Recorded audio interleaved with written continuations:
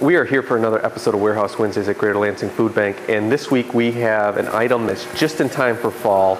It is fall fresh. It is butternut squash. We have at least, it looks like 12 pallets full, bins full of butternut squash.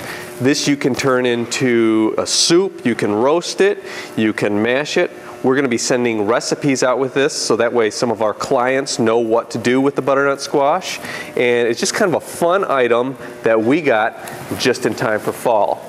So thanks again for tuning in. Warehouse Wednesdays at Greater Lansing Food Bank and catch you next time.